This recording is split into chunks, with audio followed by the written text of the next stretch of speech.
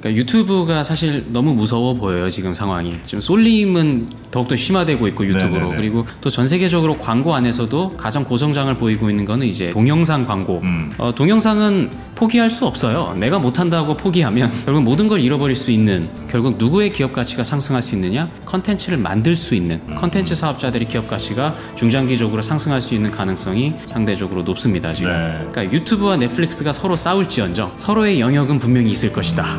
왜냐? 경제 신들과 함께하는 고품격 경제 컨텐츠 신과 함께 136번째 시간을 시작하겠습니다. 반갑습니다. 정프로고요. 네, 저는 2%입니다. 김프로입니다. 네. 저희 신과 함께 아, 오늘은 주식 투자 하시는 분들도 안 하시는 분들도 매우 관심 있어 하실 만한 주제가 좀 될 것 같습니다. 네. 최근에 그 블랙핑크 아시죠? 아유, 불평을 모르면 어떻게 해. 멤버 이름 하나만 대보시죠. 꼭 아, 얘기해야 됩니까? 됐고요. 자 우리 이프로님 자, 홍세정 연구원 나오셨습니다. 반갑습니다. 네, 반갑습니다. 네. 아, 우리 갑자기 이렇게 넘어가요. 블랙핑크가 지금 올린 지 일주일 만에 3억 뷰가 넘었어요. 유튜브. 난립니다. BTS 지금 넘어 설, 설기세입니다, 지금. 누가 그렇게 봐요? 누가? 그 어디? 전 세계. 그러니까 뭐 북미, 남미, 뭐 유럽 할 거 없이 물론 이제 그 아시아 시장도 굉장히 크지만 전 세계적으로 지금 블랙핑크 난리예요. 그래서 나의 그 걸그룹에 대한 기억은 티아라에서 멈췄습니다. 롤리폴리에서 끝이에요. 당연하죠. 우리 형님은 뭐 나는 토끼 소녀에서 멈췄다니까. 바니걸스라고 아, 정말. 예, 그래서 오늘 이 한류라는 것이 과연 홍세정 위원장 얼굴 표정 좀 봐라 지금. 아, 썩어가고 있어 지금. 잘못 온 것 같아서. 예, 토끼 소녀 나오니까 터키의 소녀. 아 음방울 잠에 안 나온 게 어디냐는 분들도 좀 계시고요. 그래서 이 한류라는 게 어마어마한 산업으로 지금 이제 성장을 하고 있습니다. 네. 그 성장하는 사업들은 저희가 또 잘 살펴봐야 되고 지금 그래서 그 블랙핑크 때문에 다른 멤버들 별로 없는데 YG가 난리 났어요. YG 주가 막 올라가고 있단 말입니다. 그런 것들도 한번 저희가 투자 아이디어로 삼을 만한 상황이 돼서 네. 아, 오늘 한류 그리고 전 세계 미디어, 미디어. 광고 네. 시장 등등을 한번 짚어보는 시간 갖도록 또 하겠습니다. 어쨌든 우리 신과 함께가 소속돼 있는 이 산업군 아니겠습니까? 미디어 산업. 그렇죠. 네. 뭐 하실 말씀 있으셨던 것 같은데. 블랙핑크 좀 보고 시작하면 안 돼요? 그렇게 한번 하여튼 오늘 미디어 쪽 한번 집중적으로 파보도록 하겠습니다. 우리 미디어 쪽에서는 신한금융투자의 한류, 미디어, 광고 담당하시는 우리 홍세정 팀장님이 전문이시고 맞죠? 네, 뭐 전, 전문이죠. 네. 그러니까 회사 안에서는 전문입니다. 회사 안에서. 네. 네. 자 우리 홍세정 팀장님 일단 제가 블랙핑크 얘기 꺼낸 건 굉장히 시의적절했다 볼 수 있겠죠? 아, 네, 시기적절하셨던 것 같고요. 네. 실제 산업이 주가가 한 2주째 계속 움직이고 있어서 네. 뭐 의도하셨던 것 같은데 또 좋은 시기에 이렇게 또 찾아뵌 것 같습니다. 아유 좋습니다. 그리고 저희, 저희가 네. 한 2개월쯤 전에 이미 홍세정 연구원을 섭외를 했어. 네, 영광입니다. 자 일단 어. 뭐 블랙핑크는 잘 나가고 있습니다만 그래도 우리의 어떤 그 미디어 특히 이제 뭐 한류 쪽의 가장 큰 시장 은 그래도 중국 중국이죠, 아니겠습니까? 중국이죠. 네, 근데 중국이 한 4, 5일 전쯤인가요? 지난주였죠, 지난주. 지난주. 한알령 해제설. 네, 지난주에 조금 더 많이 나왔던. 여행사에서 뭐 여행사 네네. 총수가 나와서 직접 광고하고 막 그래. 네. 그 뜬금없이 우리가 뭐 그거 받, 받을지도 모르는데 왜 하필 이럴 때 했을까? 그래서 참 저도 혼란스러운데요. 네. 뭐 결국 이제 진위가 뭐냐에 대한 그러니까요. 질문이 굉장히 많고요. 한알령 해제의 진위가 뭐냐? 네, 뭐 결론부터 말씀드리면 저도 잘 모릅니다. 사실. 네. 저도 잘 모르는데 어 요- 요거는 제가 지난번 나왔을 때도 좀 말씀드렸지만 한 네. 가지는 분명합니다. 네. 그러니까 한한령이 해제됐을 때 이제 나올 수 있는 수혜 산업은 어, 명확히 보이기는 합니다. 네. 이제 그 어, 수혜 산업이라고 한다면 이제 가장 큰 수혜를 받을 수 있는 게 이제 미디어 광고 쪽. 네. 사실은 미디어 컨텐츠라고 좀 그렇죠. 봐야 될 거고요. 엔터까지 해서. 어, 두 번째가 이제 면세점. 음. 그 화장품까지 포함하고요. 그 다음에 이제 마지막이 아마도 이제 게임 산업 이렇게 세 개가 좀 극명한 수혜 산업으로 저희가 볼 수 있을 것 같은데요. 어, 세 개가 좀 원하는 거는 다른 것 같아요. 또 산업이 이제 미디어 입장에서는 저희는 중국에서 우리나라 동영상 컨텐츠를 네. 동시에 방영할 수 있는 권리를 원합니다.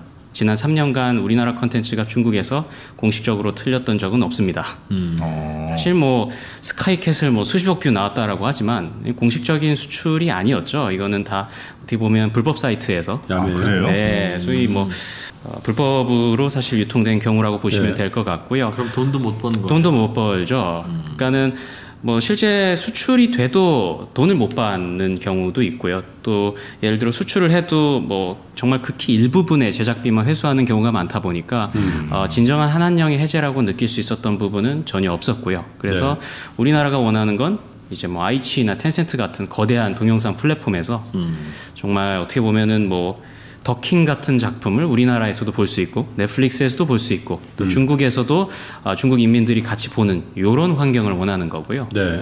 두 번째는 뭐 면세점은 제 섹터는 아니지만 기다리는 건 뭐 뻔하죠. 전 세계 세계 이거 기다리고 있을 거고요. 단체 화장품. 맞습니다. 네. 그 이게 뭐 이렇게 관광공사 이렇게 선전 한번 나오셨잖아요. 이렇게 오른쪽 그렇죠. 화이팅하고 네. 네. 뭐 그게 전 세계 재계로 이어지지 않을까라는 기대감이 시장에 좀 녹아 있는 거고 예. 이제 게임 업계에서는 이제 공식적인 판호 허용 예, 이렇게 세 개가 아마 어, 중국 정부가 이제 소위 말하는 한한령이 해제됐을 때 이제 우리나라에 어떻게 보면은 이제 좀 티가 나게 줄 수 있는 몇 가지 선물로 저희가 여길 수 있다 이렇게 좀 생각은 합니다. 근데 뭐 다시 진위로 돌아가 보자면 어, 기대감만 가득하죠 지금 현재로서는 왜냐하면 시장이 오랜 기간 좀 기대했었던 거는 결국 어, 이런 요소들이 해결이 되려면 이제 시진핑 국가주석의 방안이 선행돼야 이제 확률이 기하급수적으로 올라가지 않을까 이렇게 좀 생각을 했었던 거고요. 어, 반대로 생각하면 물론 뭐 국가주석의 방안 이전에 이런 요인들이 해소가 될 수도 있겠지만 어, 확률적으로는 그 네. 이후가 될 가능성이 높다 보니 결국 이런 요소들을 저희가 보기보다는 뭐 중국 입장에서도 예전 우리 홍길동처럼 이제 아버지가 아버지를 못하고 뭐 예를 들어 뭐 쿼터가 나와도 쿼터가 이게 나온 거라고 말을 못하고 이런 거보다는 오히려 시진핑의 어, 시진핑 국가주석의 방안이 가장 확실한 시그널이 좀 될 수. 있지 않을까 공식적으로 네. 이렇게 좀 보고 있습니다. 한한령이 지금도 정부, 중국 정부에서 공식적으로 작용을 하는 거예요? 아니면 뭐 공식적으로 얘기한 게 없는데 그냥 기업들이 알아서 이렇게 그냥 우리나라 거 수입 안 하고 뭐 이런 상황입니까? 어 사실은 어, 중국 그러니까 중국 소위 말하는 이제 거대한 플랫폼 네. 이제 어, BAT를 가리키겠죠. 이제 뭐 결국 이제 바이두, 알리바바, 텐센트 계열의 거대한 동영상 플랫폼들은 여전히 우리나라 컨텐츠들에 대한 수요가 굉장히 강합니다. 그러니까 드라마 사고 싶어 하고 하고 네. 하고 싶죠. 왜냐하면 어, 역사적으로 우리나라 컨텐츠를 사갔을 때 소위 말해서 가장 비싼 컨텐츠는 아닐지언정 가성비가 좋다는 분명히 입증된 사실이었죠. 예전에 기억해 보시면은 그 뭐, 이, 뭐 이혼하셔서 좀 애매할 수 있는데 송송 커플 나왔던 뭐 태양의 후예라든지 어떻게 보면 iQIYI에서 엄청난 이제 네. 인기를 끌면서 유료 방송 가입자가 유료 가입자가 급증했었던 경우들이 네. 있기 때문에 별그대도 있었고. 맞습니다. 여전히 우리나라 컨텐츠 사업자들에 대한 그러니까 어떻게 보면 tapping이라든지 또는 동영상에 대한 컨텐츠 수요는 굉장히 강합니다. 다만 이제 우리나라도 그걸 원하고 이제 중국의 거대한 플랫폼들도 그걸 원하나 네. 이제 안타까운 사실은 누구도 돈을 벌지 못하고 있죠. 다 어떻게 보면 불법적인 경로로 이미 계속 소모가 되고 있기 때문에 어, 수요는 굉장히 강하나 여전히 규제가 어, 3년 전 대비 바뀐 건 없다. 이렇게 조금 말씀을 드리고 싶습니다. 규제라는 게 네. 어떤 규제가 있는 결국 중국에서 동영상을 틀기 위해서는 모든 건 심의를 필요로 하고요. 결국 광전총국의 허가가 있어야 되는 상황이고요. 또 이게 또 모든 동영상을 다 틀 수도 없어요. 또 공산당의 윤리 강령에 또 맞는 컨텐츠들, 예를 들어 불륜 이런 거는 팔기가 좀 애매하죠. 어떻게 보면은. 하지만 이제 전통적으로 좀 판타지, 좀 말랑말랑한 것들이 이제 우리나라가 아, 수출을 좀 많이 했던 작품들이 많은데 아예 뭐 틀 수 있는 권한 자체가 아예 없다라고 보시는 게 신사를 맞습니다. 제출해도 맞습니다. 탈락, 그러니까 심의. 자체가 의미가 없는 거죠. 아예 못 트니까. 그러니까 안 올리는 거네요. 맞습니다. 올려봐야 안 되는 거고. 네, 그러다 보니 중국 사업자들 입장에서도 뭐 굳이 콘텐츠를 예를 들어 뭐 우리나라 동영상 이제 제작하는 이제 제작사들에게 이제 계약을 해도 네. 뭐 크게 넷플릭스처럼 큰 돈을 지불할 뭐 이유가 없는 거죠 어떻게 보면 결국 언제 틀지 모르기 때문에 라고 보시면 될것 아, 제작비를 같습니다. 줘서 틀 권리를 같이 사가기는 하나 맞습니다. 사가긴 하나 결국 못 튼다면 또잘 아시겠지만 콘텐츠의 가치는 시간이 지나면서 계속 하락하지 않습니까? 어떻게 보면은 그런 부분들이 또 중국에 있는 대규모 어, 거대한 동영상 사이트들이 생각하는 어, 그런 논리가 아닐까 그럼에도. 사가기는 해요. 제작비도 주기도 하고. 어, 사실 대표적이었던 게 이제 보고서로도 언급해드렸지만 뭐 혹시 뭐 밥잘 사주는 예쁜 누나 뭐 이런 거 네. 팔았거든요. 예. 손예진 맞습니다. 굉장히 낮은 가격에, 네, 굉장히 낮은 가격에 얼마쯤? 팔았고요. 뭐 그냥 다 2, 30억 언저리예요. 예, 이렇게 뭐 언제 틀지 모르는 작품들은. 그럼 그걸 사갖고 가서 우리가 마음대로 틀, 트는 겁니까? 어, 뭐 중국이 틀려고 한다면 틀 수 있겠지만 또 틀질 못했던 거죠. 어떻게 보면은. 네. 그럼 그분들은 현재까지는 20억이면 20억, 30억 맞습니다. 그냥 지금까지는 그냥 한마디로 그냥 돈만 주고 어. 권리만 사갔고요. 사가는 주체는 사가는 주체는 뭐 아이치라든지 뭐 유쿠투도, 텐센트 이렇게가 이제 저희가 가장 조금 집중하는 동영상 플랫폼들이라고 네. 보시면 될 것 같습니다. 그럼 한류가 풀렸는지 안 풀렸는지는 네. 수시로 광전 총국에다가 올려 보면 되겠네요. 사실 뭐 매일같이 뭐 아이치에 들어가서 확인해 보는 게 가장 좋긴 한데요.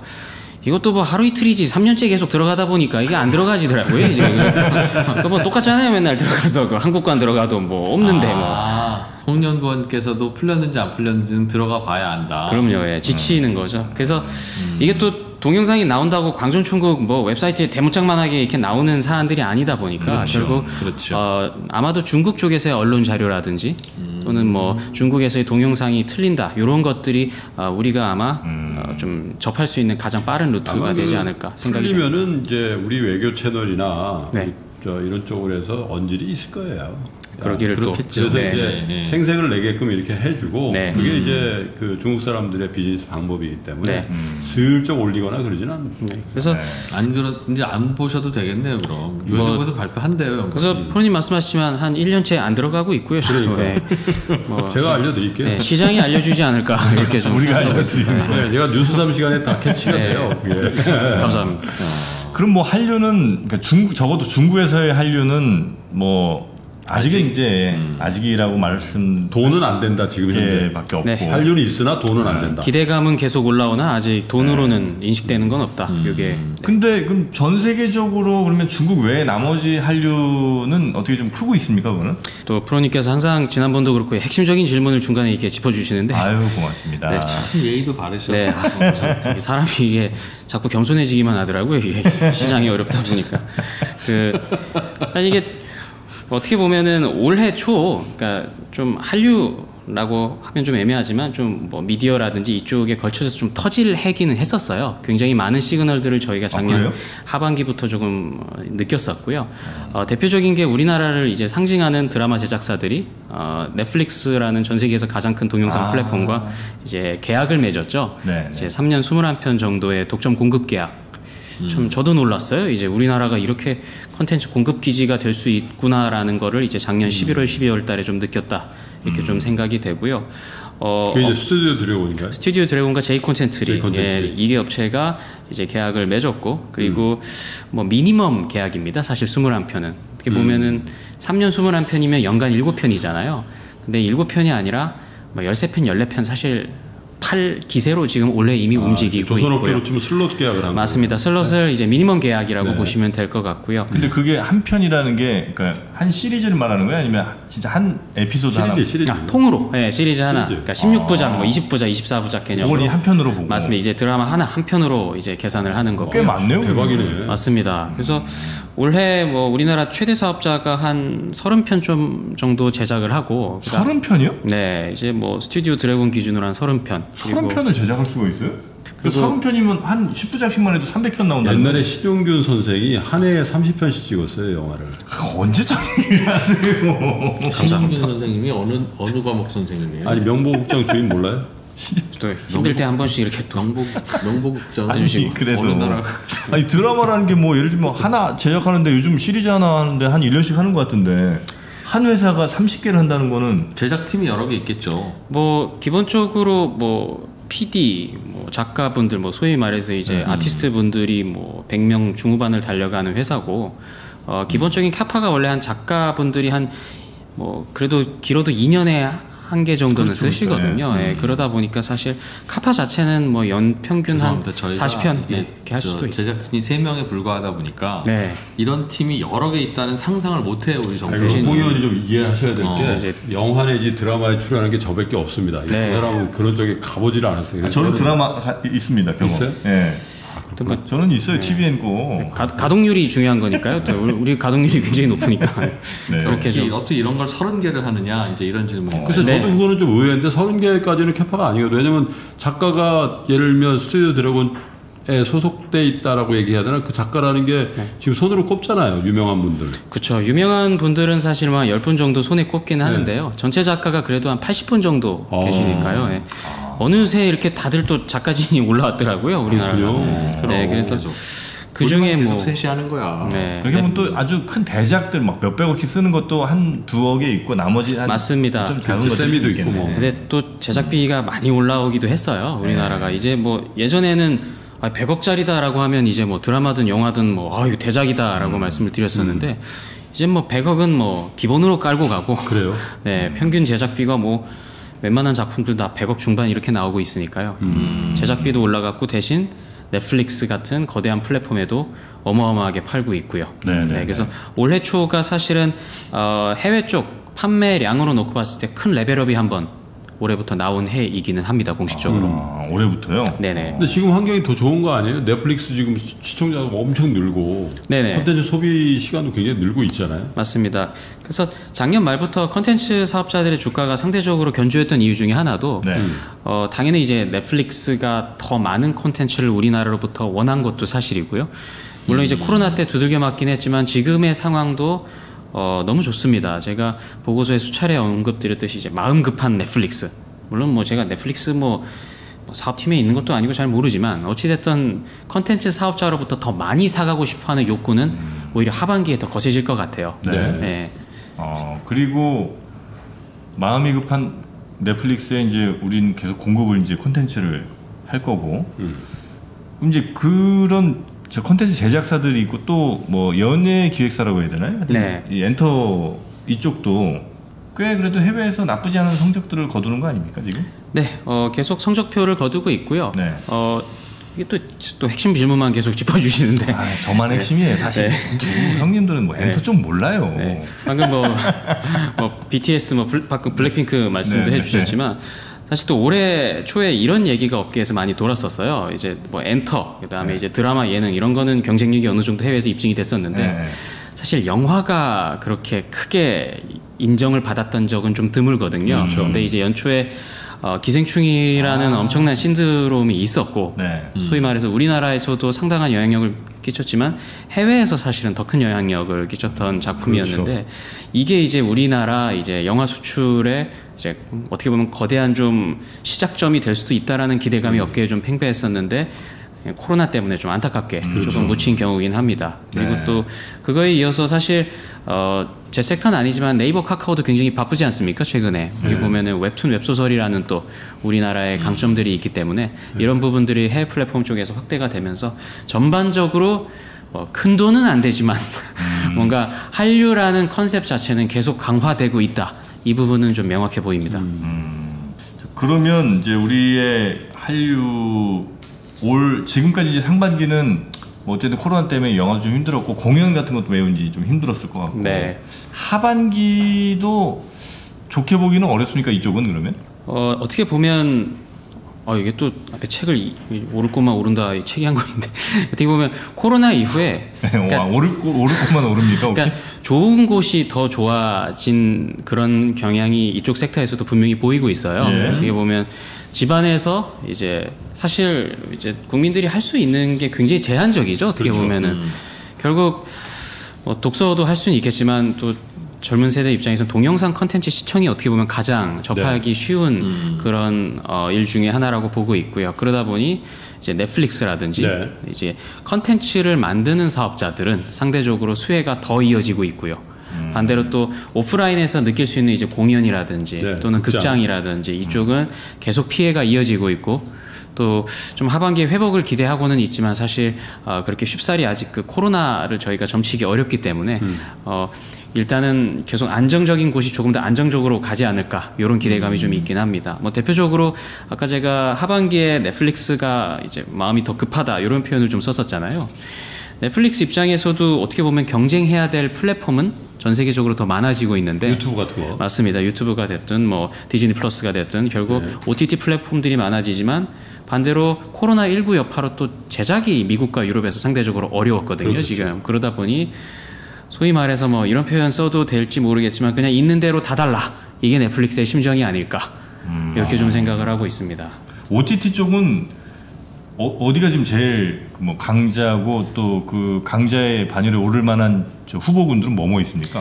네. 넷플릭스가 일단 뭐 탑일 것 같고. 네, 어, 1분기 우리나라만 기준으로 놓고 봤을 때는 뭐 어, 승자는 굉장히 명확해 보이기는 합니다. 네. 물론 뭐 네이버 카카오도 나름의 분야에서 엄청난 성공을 거뒀지만 이제 동영상만 놓고 봤을 때는 네. 어, 넷플릭스와 유튜브 네. 특히 유튜브가 뭐 1분기 실적 발표 때 이제 전 세계 매출액이 33% 올라왔다라고 얘기를 했었지만 1분기에만 1분기에 이제 YOY로 근데 음. 이제 아, 전년 이거는 동기 대비. 네, 전 세계 기준인 거고요. 네.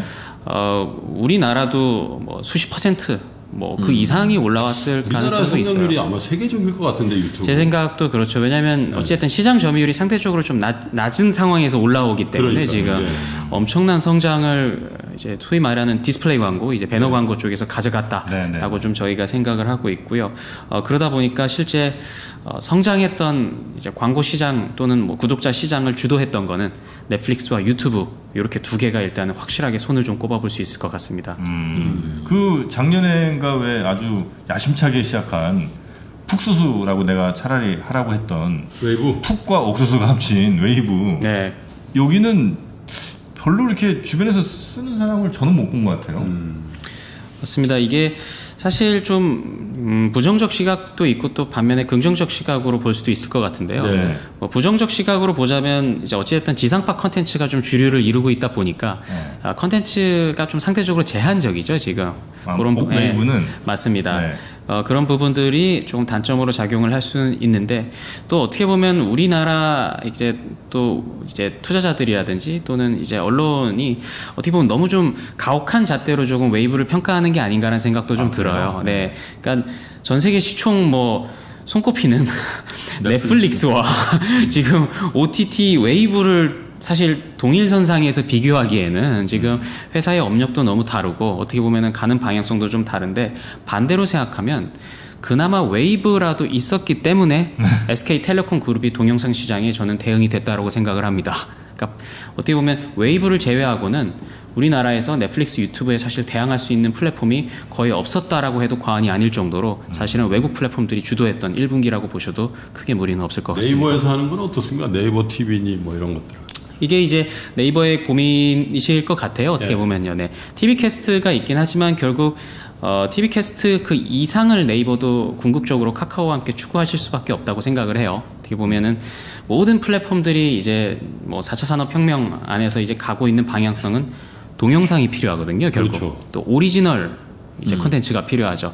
그 오리지널 컨텐츠를 만들기 위해서는 돈을 쏟아부으면서 나만의 플랫폼에서 즐길 수 있는 컨텐츠를 사실은 굉장히 비싼 가격에 많이 탑재를 하고 있어야 되는데 네. 이제 네이버 입장에서도 분명히 준비 단계에 있었던 건 사실이나 어떻게 보면 좀 너무 급작스럽게 이런 변화가 다가오다 보니까 이런 부분들을 분명히 내부적으로는 생각을 많이 하고는 계실 겁니다. 다만 일단 한 번 터지니 이제 네이버의 commerce가 어마어마한 성장을 보여줬던 것처럼 그렇죠. 반대로 동영상 시장은 선제적으로 유튜브와 넷플릭스 위주로 먼저 수혜가 좀 나왔다라고 보는 게좀 맞는 것 같아요. 네. 근데 그 예를 들면 동영상에 한 번 어떤 플랫폼에 이제 젖어들면 그쪽으로 쏠리면 쏠렸지 그게 이렇게 2, 3, 4위 업체들까지 다 나눠 가지기는 좀 힘든 거 아닙니까? 이게 동영상이라는 게 특히나 더 재미있고 아주 킬러 콘텐츠 같은 경우는 한쪽에 더 모일 텐데 네. 생산자 입장에서도 그렇고 소비자 입장에서도 그러면 2, 3, 4위 업체가 무슨 큰 의미가 있을까 싶기는 하거든요. 네. 프로 이게 컨디션 좋다. 아, 지금 약간 좀 움찔움찔해요. 저도 이렇게 질문을 받으면서. 네. 좀 노력들 좀 하세요. 우리가 그래도 저기 신문방송학과 석사 출신이에요. 아, 네. 어, 좀 움찔했는데 사실 이게 마음의 소리이긴 하지만요. 네. 그러니까 유튜브가 사실 너무 무서워 보여요 지금 상황이. 그러니까 네. 지금 쏠림은 더욱더 심화되고 있고 유튜브로 네네네. 그리고 유튜브의 장점은 어찌됐든 내가 꼭 구독자임과 동시에 내가 꼭 크리에이터가 될 수 있다라는 어떻게 보면 음. 가장 트렌드한 컨텐츠를 항상 탑재할 수 있다라는 장점을 갖고 있지 네. 않습니까? 그리고 또 전 세계적으로 광고 안에서도 가장 고성장을 보이고 있는 거는 이제 디스플레이 광고, 결국 이제 동영상 광고라고 음. 저희가 아, 말씀을 드려야 될 텐데 그쪽에서 주도를 하고 있다 보니까 결국 네. 어, 알파벳의 패권은 강해졌으면 강해졌지 음. 뭐 약해질 거다 이렇게 절대 보기는 어려울 것 같아요. 그리고 네. 그런 거대한 플랫폼들을 상대하는 아, 우리나라 이제 플랫폼들의 고민도 더욱 깊어질 수밖에 없다 이렇게 아. 좀 생각을 합니다. 고민을 깊이 할 게 아니라 네. 그들은 유튜브든 넷플릭스든 내년에는 올해보다 더 강해질 거고 네. 당분간 그러지 않겠어요? 얼마나 그, 그 속도가 문제지. 맞습니다. 그러면 최소한 제일 약할 때부터야. 음. 그러니까 지금 예를 들면 옥수수든 북수수든 어디는 지금 빨리 예를 들면 투자 한번 해볼 만한 돈이 있으면 그걸 해야지. 요거 잘 갖고 있다가 네. 어, 내후년 가을에 써야지. 그럴 그럴 이유가 없잖아요. 이게 또 뭐 계속 제가 움찔거리고 있는데요. 이게 사실 형님만 그래서. 네. 저희는 둘 다 움찔하게 했거든요. 네.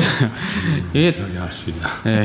이게 사실 핵심을 또 짚어주셨어요. 그러니까는 결국 지금 모든 플랫폼들이 가는 방향성은 사실 정해져 있다고 저는 생각을 합니다. 이제 이따 말씀드릴 이제 빅데이터가 하나 있을 거고요. 이제 앞선에서 지금 이제 설명을 끝내드리려고 하는 건 이제 동영상. 이두 개가 결국은 전 세계에 있는 4차 산업군에 속해 있는 모든 플랫폼들이 원하는 어떻게 보면 핵심 요소라고 보고 있는데요. 어, 동영상은 포기할 수 없어요. 내가 못한다고 포기하면 결국 모든 걸 잃어버릴 수 있는 그런 요소라고 보고 있고 반대로 생각하면 아, 플랫폼들이 전 세계적으로 마음이 급해지고 있다라고도 표현할 수 있거든요. 지금 결국 누구의 기업 가치가 상승할 수 있느냐? 컨텐츠를 만들 수 있는 컨텐츠 사업자들이 기업 가치가 중장기적으로 상승할 수 있는 가능성이 상대적으로 높습니다. 지금. 네. 혹시 그 틱톡은 어떻습니까? 틱톡이 네. 어 지금 뭐 저는 안 쓰는데 요즘 젊은 친구들은 은근히 많이 쓴다는 거예요. 그러니까 저 같은 사람들이 많이 쓰죠. 그래서 네. 뭐 특히 이제 중국이나 뭐 이런 데 아주 그냥 거의 지배적인 애들이 됐고 네. 짧은 동영상 위주로 그리고 이제 전 세계적으로도 틱톡이 지금 뭐 기업 가치도 120조인가 그렇다는 거예요. 그래갖고 이 정도면 유튜브를 위협할 만한 물론 이제 시장은 약간 좀 다른 것 같긴 하지만 네. 그꽤힘 있는 영상 플랫폼으로 가는 거는 혹시 어떻습니까 틱톡? 어, 분명히 저희 업계에서도 뭐 그렇게 될 거라고 보는 이유 중에 하나가 이제 굉장히 좀 단순하게 풀어본다면 네. 이제 저희가 예전에는 어떤 특정 플랫폼에 가서 이제 인터넷이 곧 그 플랫폼이었잖아요. 어떻게 보면 이제 들어가서 딱 이제 보여지는 것만 보다가 그러다가 조금씩 동영상 플랫폼 위주로 이동을 해왔죠. 지금 서식 네, 자체가 네. 체류 시간이 그리고 이제 동영상 플랫폼 안에서도 계속 플랫폼의 영상 시간 자체가 짧아집니다. 근데 이 짧아지는 거는 비단 체류 시간이요? 체류 시간, 그러니까 예. 클립당 어떻게 예. 보면은 예전에 뭐 1 시간짜리 봤다면 이게 이제는 2, 30분짜리 보고 10분짜리 보고 어떻게 보면 시청자들이 집중할 수 있는 시간 자체가 예전 대비 더 분명히 좀 내려오고 있는 것도 맞고요. 생산자들도 짧아 짧아지고요. 맞습니다. 네. 이런 식으로 계속 흘러가고 있고 또 그런 부분들을 가장 잘 어떻게 보면은 아, 조금 점유하고 있는 게 틱톡이라고 저희도 생각을 하는데요. 네. 좀 많은 분들이 근데 이런 말씀들은 하시더라고요. 모든 컨텐츠에 그러니까 세그멘트는 있다. 예를 들어 이런 거죠. 그러니까 유튜브와 넷플릭스가 서로 싸울지언정 서로의 영역은 분명히 있을 것이다. 왜냐? 넷플릭스의 그 수많은 미드들과 그 어두운 컨텐츠들을 선호하시는 분들도 분명히 있을 거고 또 유튜브처럼 어떻게 보면 개인이 올리는 동영상 위주로 선호하시는 분들도 있을 거고 틱톡처럼 어떻게 보면 짧은 이런 것들을 선호하시는 분들도 있을 거기 때문에 요거는 좀 지켜봐야겠지만 확실한 거 하나는 본인의 영역에서 1등을 하지 못하면 사실은 계속 어려워질 수 있는 것은 분명한 것 같아요. 왜냐하면 어, 결국은 부익부 빈익빈의 현상은 코로나19 전후로 계속 강해지고 있는 건 분명합니다. 그러면 저희가 이 OTT 혹은 뭐 이제 어, 동영상 플랫폼 얘기까지 쭉 좀 해봤는데 결국 이 영상과 관련된 제일 큰 건 또 돈이 오가는 광고 쪽 아니겠습니까? 맞습니다. 네. 네. 참 재밌는 부분이었죠. 이게 광고가 어떻게 보면 민감주의 끝판왕이라고도 볼 수 있죠. 전 세계적으로. 그렇죠. 네. 뭐 기업들이 정확하죠. 맞습니다. 어려우면 뭐 광고비부터 줄인다라는 게 우리들의 일반적인 생각이니까요. 네. 어 근데 그리고 그러다 보니 뭐 타격이 있을 수밖에 없었고요. 뭐 우리나라에 뭐 있는 광고 대행사들 뭐, 뭐 글로벌이시지만 어느 정도 매출 비중이 70%가 이미 해외에서 나오곤 있지만 뭐 해외도 코로나가 없었던 건 아니고 오히려 더 심했으면 심했기 때문에 타격은 분명히 있었고 또 랩사들 뭐 이제 인터넷 하고 이제 어떻게 보면 온라인 모바일 중에서 사업을 영위하는 아, 그런 사업자들도 타격은 있었는데 재밌는 부분은 요건 것 같아요. 우리나라 최대 광고 대행사가 이번 2분기에 제 보고서 기준으로 영업이익이 한 500억 중반 정도 이제 벌 것 같거든요.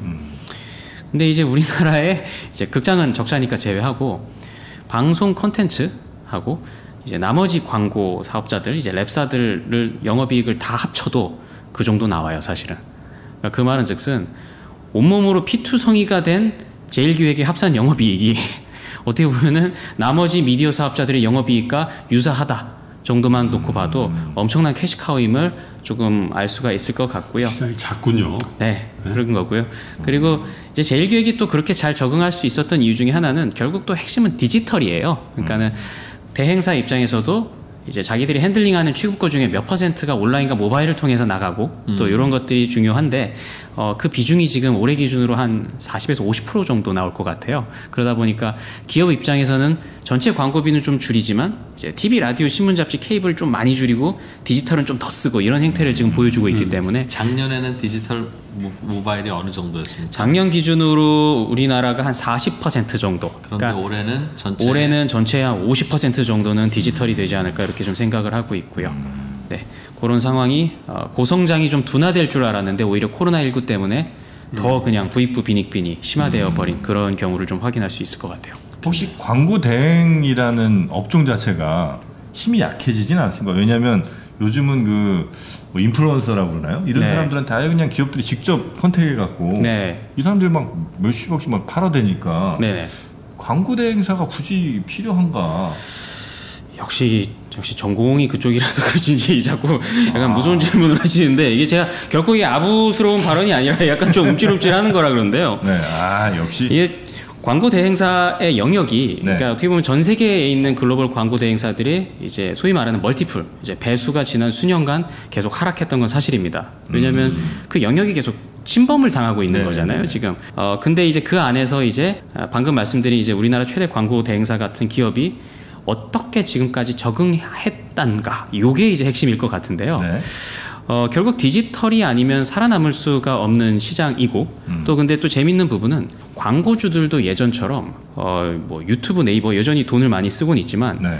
맹목적으로 과연 디지털에 돈을 쓰는 게 맞는 것인가라는 고민을 굉장히 많이 해요. 뭐 애플도 마찬가지고 P&G, 삼성 다 그런 생각들을 하는데 사실 뭐 굉장히 많은 또 요소들이 있잖아요. 뭐 targeting이 제대로 인, 인 되고 있는가, 뭐 트래픽 조작도 있을 수 있을 거고 이런 부분들이 너무 많다 보니까 최근 트렌드는 닷컴 서비스라고 한번 들어보셨을 닷컴 텐데 서비스. 맞습니다. 뭐 쇼피파이가 좀 어떻게 보면 글로벌로 좀 이런 영역에 있긴 한데 어, 삼성, 애플닷컴, 삼성닷컴 어떻게 보면은 본인들의 웹사이트를 e-commerce화하려고 하는 노력들이 큰 광고주들 위주로 계속 나오고 있어요. 나이키닷컴처럼 맞습니다. 네. 어떻게 보면 거기에 예전에는 그냥 웹사이트였다면은 네. 이제 최근에 삼성 뭐 US닷컴에 들어가 본다면 이제 웹사이트뿐만이 아니라 하나의 광고 패널이 돼서 이제 이커머스 채널이 된 거죠. 음. 네네. 그리고 원래 이런 것들을 해주던 기업들은 이제 뭐 IBM 이제 Ernst & Young, 딜로이트처럼 어떻게 보면 IT 기반의 IT 컨설팅 업체들이 해주던 영역이었는데 이거를 이제 우리나라 광고 대행사들이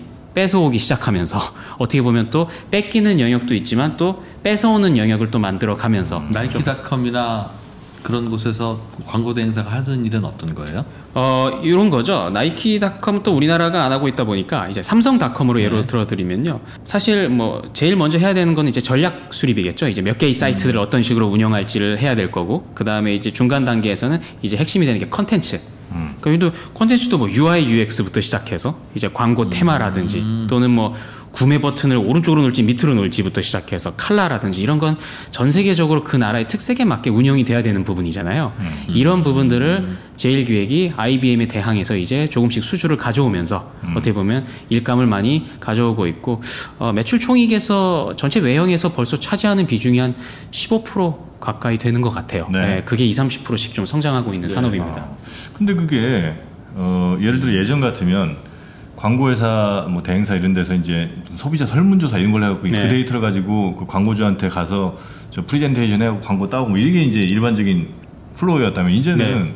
그 데이터를 갖고 있는 게 사실은 뭐 포털 사이트가 됐든 아니면 뭐, 뭐 그런 이제 직접 영업하는 회사들일 거 아니에요. 네. 그러면 그 데이터가 사실 뭐 설문조사 데이터보다 그 데이터 훨씬 더 정확한데. 맞습니다. 그럼 그 데이터를 갖고 있는 회사에 직접 광고주가 돈을 주면 되지. 네네. 네. 어, 요런 것 같아요. 결국 그런 광고주들은 또 굉장히 많아지고 있어요. 전 세계적으로. 어떻게 네. 보면 광고주가 직접 그냥 광고 슬라 사오면 되고 어떻게 보면 뭐 굳이 대행사를 거치지 네네네. 않고 사오는 경우들도 굉장히 많습니다. 특히 롱테일이라고 부르는 어떻게 보면 좀 중소형 광고주 위주로 그런 것들이 좀 보이고 있고요.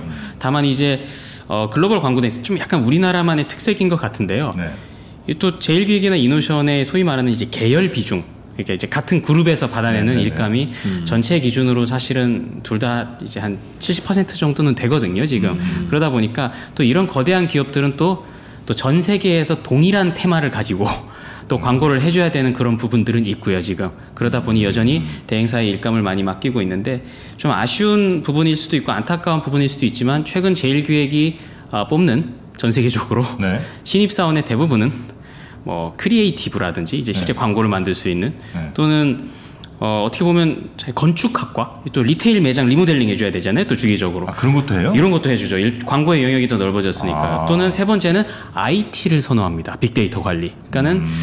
예전처럼 이렇게 또 신문 방송학과 나오면 무조건 대행사 가고 음. 이러기보다는 결국은 IT로 다 집결이 되면서 그쪽 네. 인력들이 더욱더 대행사 안으로 들어가는 그런 어, 저희가 트렌드를 좀 확인할 수 있을 것 같아요.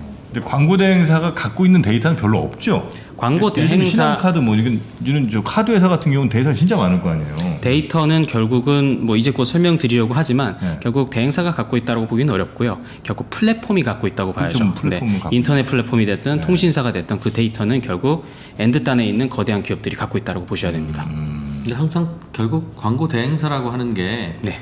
광고 좀 아는 직원의 느낌인 거죠. 광고주 입장에서는. 광고 대행사 입장에서는 광고주 입장에서는 물론 예를 들면 농심이 라면을 파는 하는 광고를 네이버한테 직접 전화해서 우리 농심인데 라면 좀 광고 좀 하려고 하는데 슬롯 얼마예요? 뭐 이렇게 물어볼 수 있지만 네. 그분이 또다 카카오에도 전화해야 되고 뭐 유튜브도 contact해야 되고 하면 그냥 누구 하나 시키면 안 돼? 어, 좀좀 좀 좀 잘 아는 친구 없나? 음. 네네. 할때 그 그 중간에서 조율하는 게 광고 대행사잖아요. 맞습니다. 그 음. 가장 좀 그래도 이제 전 세계적으로 광고 대행사가 아직 좀 영역 침범을 덜 당한 영역이 어딘가라고 음. 했을 때는 아까 말씀드린 좀 creative 쪽인 것 같아요. 어떻게 보면 조금 전에 제가 말씀드린 건 매체 mix. 맞습니다. 매체 mix 플러스 이제 그 안에 들어가는 광고 컨셉이라든지 음. 테마를 잡아줘야 되는 거는 여전히 대행사들이 좀 해줘야 되고 예를 네. 들어 절벽을 타고 뭐 K5가 달린다든지 음. 또는 뭐 타조가 뭐 삼성 VR을 끼고 이렇게 좀 날아가는 음. 걸 영상하는 이런 것들은 사실 여전히 좀 고유 영역이기는 합니다. 앞으로 아니 지금 현재는 대략 어느 정도 돈들이 이렇게 좀 오가 아 도- 어느 정도 돈이 오가는 거 말씀해 주셨으니까 앞으로는 하반기 어떻게 될 건지 네. 뭐 그거 좀 전망을 좀 더 구체적으로는 방송국과 신문사는 망해갑니까? 이거 분위기 아. 이상하던데요, 진짜? 이게 방송에 계시잖아요 우리. 이게 사실 그 매일매일 분위기가 달라. 뭐 어, 모든 보고서들이 다 요즘 비슷하지만 음. 디지털을 제외하고는 많이 힘들어요. 이게 그러니까 좀 정도의 차이가 있을 뿐. 그러니까 음. TV, 라디오, 신문, 잡지, 케이블 사실은 다 어렵다고 보셔야 되고요. 지금 음. 결국은 광고비 자체도 줄었지만 그 파이 자체도 이쪽에서 디지털로 넘어간 그런 음. 상황을 저희가 상반기에 겪었다 보니까 결국 또 돌아가면 누가 제일 좋았냐? 유튜브가 행복했다. 예, 유튜브가 가장 좋았을 것이다. 이렇게 추정을 하고 있는 거죠. 사람들이. 유튜브 보는 시간이 늘어났으니까. 네, 체류 시간에 잡지 보는 시간 맞습니다. 예. 없어지고. 그 트렌드가 더 빨라진 거죠. 그러면 그, 그 흐름은 뭐 당연히 네, 앞으로도 지속될 수밖에 없고 네, 그러면 광고 쪽 회사에는 별로 이렇게 투자를 할 필요는 없어 보이네요. 그래서 이제 전, 전 세계적으로 이제 결국 대, 요렇게 찾으셔야 될 것 같아요. 결국 대행사는 핵심 주가 지표가 이제 본인들끼리 M&A라든지 어떻게 보면 이제 몸집을 키우는 거죠. 이제 비유기적 성장이라든지. 두 번째는 현금 흐름이 대신 굉장히 좋기 때문에 캐펙스가 안 들어가고 배당이라든지. 그리고 마지막 세 번째는 아까 닷컴 같이 주 광고주의 전략에 그래도 가장 유연하게 대처할 수 있는 기업들만이 아, 살아남지 않을까 이렇게 좀 생각합니다. 하는 일은 비슷하지만 네, 어, 그래서 실적도 비슷하지만 멀티플이 점점 낮아지고 있는 업종이라 그 말씀인가요? 그렇죠. 어, 작년 기준으로 이익이 우리나라 광고 대행사들을 제외하고는요. 그렇게 증가한 광고 대행사들이 전 세계에 이렇게 많지는 않아요, 사실은. 네. 우리나라는 왜 증가해요? 우리나라 아까 말씀드렸듯이 좀 다른 이유지만 어, 제일기획 같은 경우는 아까 말씀드린 그냥- 닷컴이 그냥 네. 주는 거죠. 어, 그러니까 닷컴이 좀 견인했고 이노션은 신차 사이클 음. 이런 것들이 사실 아직은 조금 현대차 그룹이 아, 광고를 좀 많이 해야 되는 구간이죠. 요즘 광고는 맞춤형 광고가 거의 트렌드죠. 다 맞춤형이죠. 다 네, 맞춤형이죠. 네. 내가 뭐 하나 검색하면 이제 그 비슷한 거막 네. 때려 봐주고 뭐 이런 사실 거. 뭐, 뭐 현대차 그룹도 어떻게 보면 뭐 예를 들어 브랜드 광고랑 이제 신차 이제 네, 네. 광고를 놓고 봤을 때 비중은 보통 한 8대2 정도로 저희가 추정하거든요. 이게 80%가 이제 신차 쪽에 쏠려 있고 브랜드가 한 20이다 보니까 음. 네. 결국은 어떻게 보면 그 특정 품목에 따른 맞춤형으로 하는 경우가 훨씬 더 많다라고 보셔야 될 것 같습니다. 음. 물론 브랜드 광고도 계속 바뀌곤 있지만. 네. 그러니까 이제 그 특히나 내가 어떤 단말기에서 내 이용하는 뭐 여러 가지 데이터 같은 것들을 이제 무슨 포털 사이트도 그렇고 뭐 쇼핑몰 같은 데서 다 분석을 해갖고 맞습니다. 뭐 캠핑 한번 검색하면 뭐, 씨, 뭐 코페레 뭐 이런 거 막 텐트 막 계속 나오고 뭐 이런 거인 거죠. 맞습니다. 그 네. 또 결국 마지막 이제 맥으로 저희가 좀 넘어가고 있는 것 같은데요. 제가 네. 아까 4차 산업혁명의 결국 끝 무렵에는 아마도 제 굉장히 데이터와 작은 의견은 첫 번째는 동영상이 한 축을 이루고 있을 거고요. 네. 사실 뭐 좀 극단적으로 제가 뭐 자율주행 차에 타도 술 먹고 집에 갈 때뭐 자던가 동영상 보든가 둘 중 물론 이제 독서하시는 분들도 계시겠지만 둘 중에 하나인데 동영상은 결국 모든 거의 끝에 있다라고 봐야 될 것 같아요. 이한 축을 담당하는. 그리고 이제 두 번째가 결국 얼마나 정교하고 방대한 빅데이터를 보유하고 있고 이걸 어떤 식으로 이걸 바탕으로 monetization이 가능하냐. 이 두 개가 결국은 큰 축이 될 것 같고요. 네네. 이 monetization 쪽도 빅데이터 쪽도 사실은 우리나라에서 이제 조금씩 확인이 좀 되고는 있습니다. 근데 거기에 대해서 또 실제로 해보시는 분들은 좀 의문이 있더군요. 네. 예를 들면 뭘 결국 뭘 팔려고 하는 상인들의 입장에서는 targeting을 하면 좋겠는데 어, 이 상품은 40대 남성을 위해서 만들었으니까 40대 남성 중에 이런 거에 관심 있고 어디 사는 사람들을 딱 타겟팅해서 고기만 보내고 싶지만 실제로 이거를 팔아보면 30대 여성도 사고 50대 뭐 여성도 사고 뭐 그런 그렇다는 거예요. 맞아요. 근데 왜 사나? 보면 삼촌 선물해야지부터 시작해서 뭐 등등 다양한 실제로는 이거를 필요로 하는 사람은 정해져 있으나 네. 되게 중요한 부분이에요. 필요로 하는 사람은 정해져 있으나 예를 들면 보청기 필요로 하는 사람은 정해져 있으나 사는 사람은 사는 사람은 정말 다양하다. 맞습니다. 그런데 상인은 팔아야 되잖아요. 맞아요. 그러니 타겟팅만 해서 그 광고를 냈을 때 보청기 광고를 70대 할아버지한테만 하면 과연 보청기의 매출이 올라가냐 이거는 다른 문제라는 거죠. 그래서 아까 저한테 그 말씀을 좀 주셨었잖아요. 그러니까는 디지털이 계속 왜 나한테는 날카롭다고는 안 하냐? 그 날카롭지. 않았어요. 평소에. 나 너무 날카로워. 아니 이게 아니, 아니. 지금 계속 긴장 상태를 유지하고 있어서 이제는 이제 그 TV 라디오 신문 잡지 아까 저희가 계속 힘들다고 말씀을 드렸잖아요. 근데 프로님 말씀을 또 저희가 생각해 보면 어, TV 광고도 있을 수밖에 없어요. 결국 영원히. 왜냐면 TV가 또 주는 장점이 있지 않습니까? 결국 타겟팅은 안 되지만 또 사는 사람은 다를 수 있다라는 거거든요, 지금. 또 홈쇼핑 광고 사실 홈쇼핑에 들어가면 이제 매출의 뭐 한 10에서 30% 수수료를 주지만 또 홈쇼핑이 또 그 자체로 광고 효과라는 게 있잖아요. 어떻게 보면. 사도. 맞습니다. 예. 안 사도. 그런 부분들이 또 이쪽 매체들이 가질 수 있는 충분한 장점일 수 있겠으나 근데 또 광고주 입장에서는 최근에 또또 이렇게 돈이 많지 않은 광고주 입장에서는 네. targeting. 이게 또 이거 사야지. 예, 이거 당장 살 수 있는 내가 이거는 30대가 소비층인데 이거를 60대에 쏘는 건 의미가 없다. 이렇게 생각하시는 광고주들은 또 이쪽에 끌림이 상당히 있을 수 있겠죠. 아니 아무리 뭐저 다른 연령대도 또 다른 성별을 살 수 있지만 확률적으로 보면 targeting한 데가 당연히 많이 사겠죠. 그러면 아니 아까도 효율적으로 어, 따져보면. 남성들에게 굳이 뭐 이런 걸 보내면 의미가 없지만 제가 그래서 둘이 사귀는 걸 알면 어떤 남성에게 당신의 여자친구에게 이 광고가 날라갔습니다라고 알려주면 안, 어, Minority 되게, 리포트 주- 되게 중요한 정보가 안 돼요. 이게. 남성 사타구니 광고가 여성분이 받으면 이거 엄청난 역효과예요, 사실 이거는. 이게 그 안 사는 걸로 끝나지 않거든요, 이거는. 하지만 사실 그게 디지털 안에서도 굉장히 많이 비일비재합니다. 예를 들어 유튜브라든지 구글에서 targeting을 100%내 거를 해줘야 되는데 예를 들어 네. 기저귀 광고는 가족적인 컨텐츠 앞에 붙어야 되는데 뭐 살인 영상 앞에 붙고 이러면 역효과가 나고 이런 일로 고소를 하는 경우들도 사실 굉장히 많거든요. 이런 부분들을 조금 어, 계속 보완해 나가려는 거죠. 아니 요- 요걸 하나 좀 여쭤볼게요. 외국에 같은 경우는 어, 데이터를 통해서 이제 분석을 통해서 그 광고 targeting을 이제 하는 해서 그런지 굉장히 물, 물적으로도 아니면 질적으로도 아주 꽤 확률 높은 광고들을 특히 이제 유튜브 보다 보면 많이 느끼거든요. 네. 우리나라 회사들도 그런 데 좀 앞서 있는 회사가 있습니까? 우- 움직임이 좀 있습니까?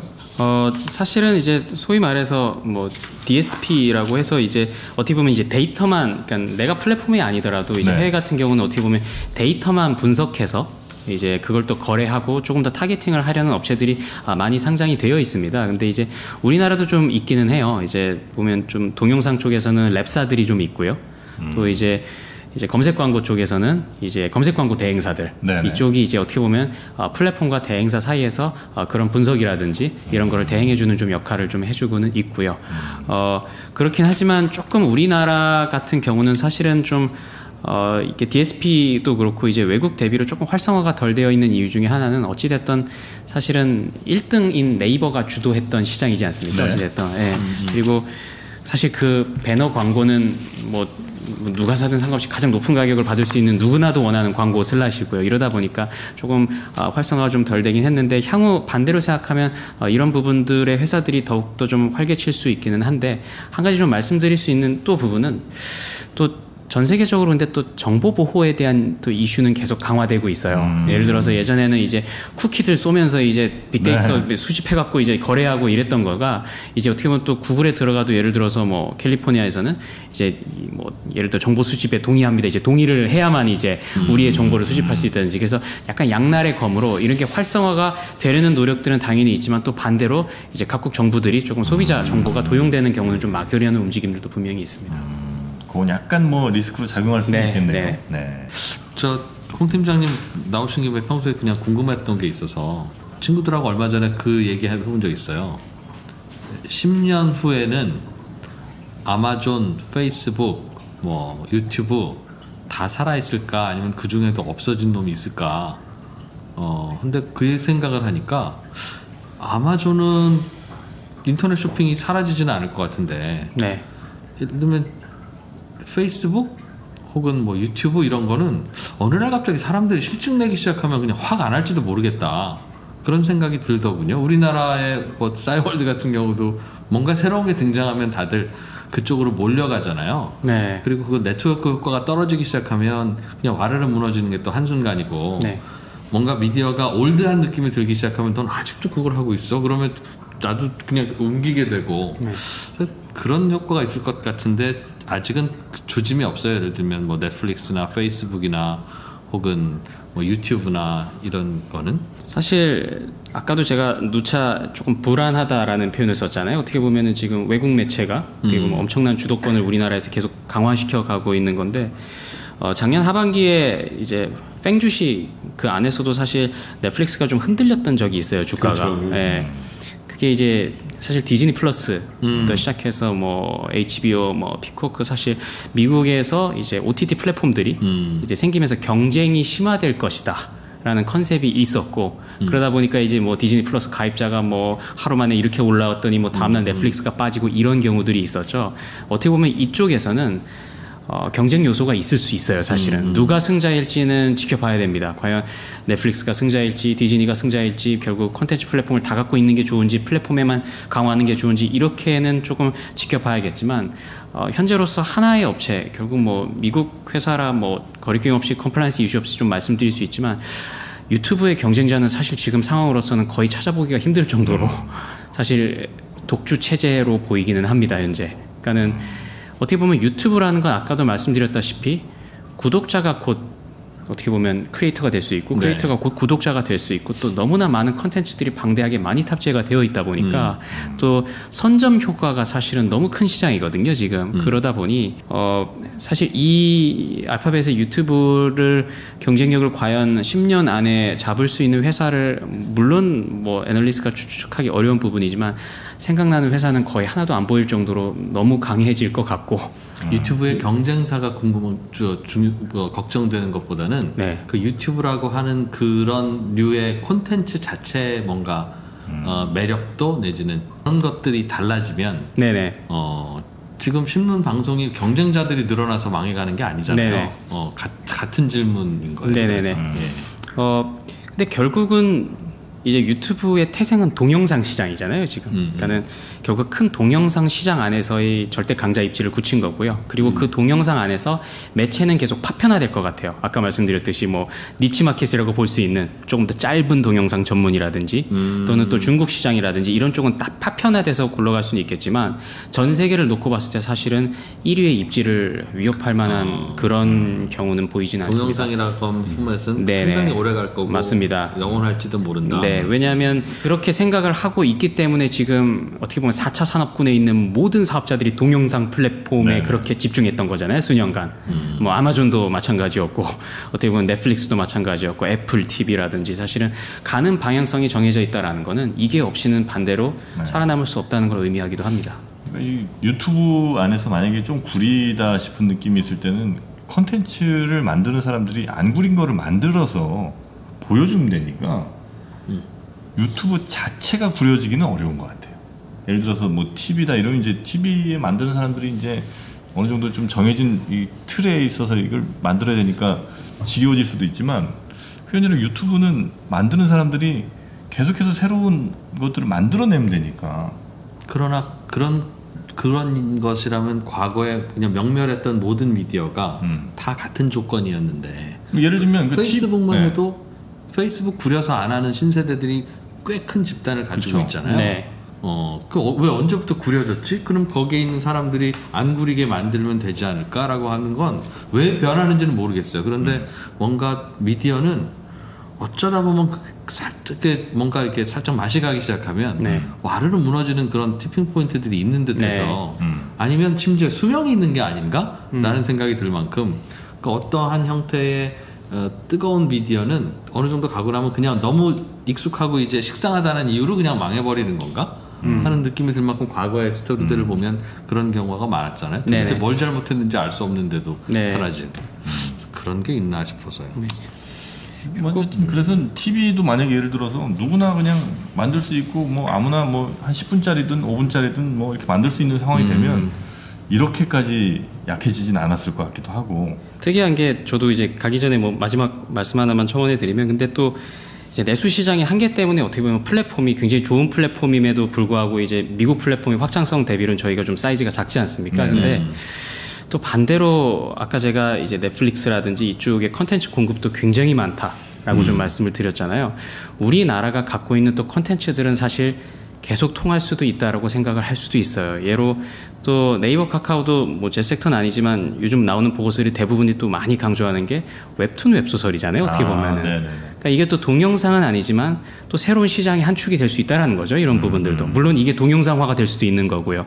또 우리나라가 또, 또 물론 이제 뭐 유튜브 넷플릭스가 우리나라에 확대가 되고는 있지만 또 사실 피해만 보고 있는 건 또 아니잖아요. 또 스튜디오 드래곤이나 이제 포함해서 우리나라 많은 제작사들이 또 수혜를 보고 있기 때문에 결국은 어 이제 성장하고 있는 산업에서 얼마나 빨리 유연하게 대처하느냐가 일단 첫 번째인 것 같고요. 그리고 두 번째는 그래도 아까 말씀드린 동영상과 빅데이터라는 큰 축은 결국 모든 업체들이 향후 계속 갈고 닦아서 돈을 벌려는 그런 의도를 보일 것이다. 요거는 맞는 것 같습니다. 네. 그래서 우리 결론은 우리가 삼성전자 걱정을 할 필요 없듯이 네. 유튜브에 대한 걱정도 우리가 할 생각해보면 왜, 왜 유튜브 걱정 우리가 하고 있냐?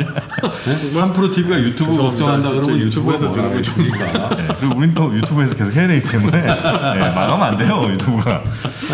자 그러면 오늘 우리 어, 신한금융투자의 홍세정 팀장님 모시고 재밌게 얘기 들었는데 오늘은 이 정도에서 마무리하도록 하겠습니다. 함께해 주신 신한금융투자 홍세종 팀장님 대단히 고맙습니다. 네, 고맙습니다. 감사합니다.